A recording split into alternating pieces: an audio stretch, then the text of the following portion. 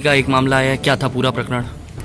जी, देखिए, लगभग 20 दिन पूर्व हमको एक सूचना मिली थी एसटीएफ मुख्यालय से कि एक हमारे ही जनपद के संभ्रांत व्यापारी हैं।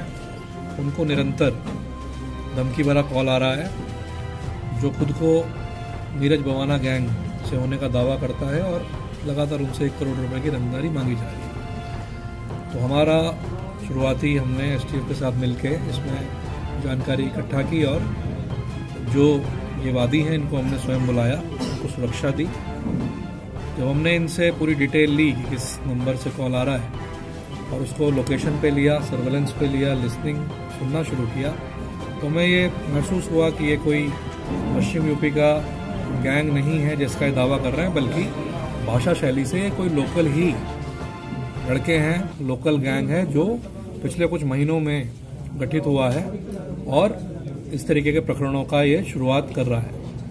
इस सूचना पे निरंतर हम लोग लगातार काम कर रहे हैं पिछले 20 दिन से।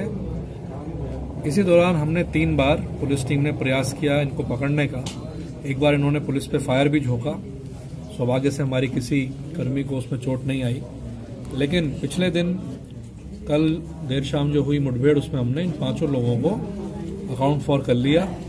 ये पाँचों जो लोग हैं वो बदोकर कोतवाली और मलेरिया क्षेत्र